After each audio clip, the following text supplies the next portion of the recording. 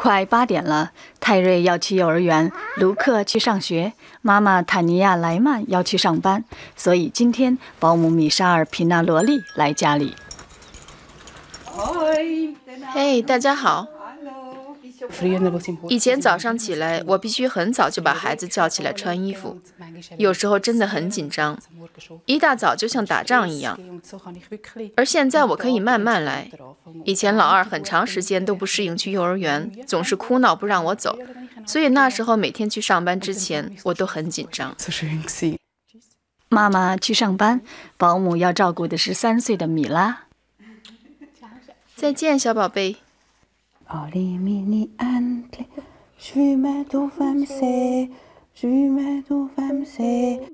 在两个男孩子回来之前，保姆还要做许多事情。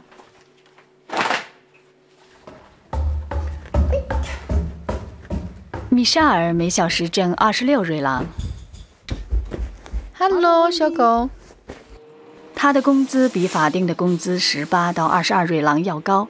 尽管如此，对于这个家庭来说，保姆的价格还是要比把三个孩子都送到幼儿园要低百分之十五。现在每周两天照顾孩子的家庭开支是一千九百瑞郎。我的工作条件挺好的，但是有些人却在非常不合理的条件下工作。比如黑工或者工资很低的小时工什么的，在调查结果的名单中可以看到，有的人每小时才挣十二瑞郎，这么低。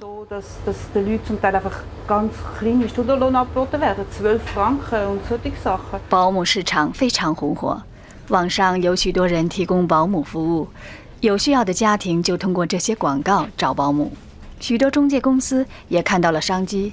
他们提供各种服务，比如紧急情况下的保姆、过夜保姆、残疾孩子保姆等。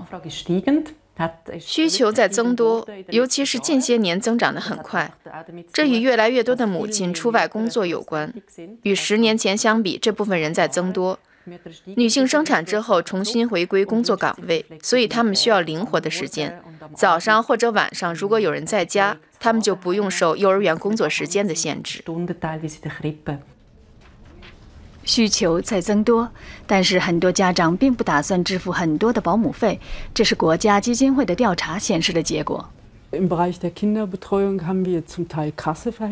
在保姆行业，我们调查到非常严重的情况，比如一名菲律宾保姆包吃包住，每个月一千瑞郎，但需要二十四小时听候使唤。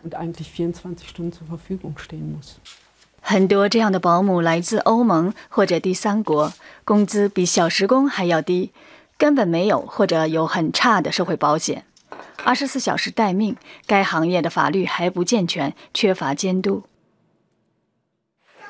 米沙尔知道，不是每个保姆都有她这样的运气，有这样好的工作条件。你要几块？三块。祝你胃口好，在漂亮的瑞士。她早已不只是一个保姆，而是家庭一份子了。一百乘以七十五，你先用十乘。我在这很开心，真的很开心。但是我也得承认，是我运气比较好。再见，孩子们。妈妈回来了，米沙尔下班了。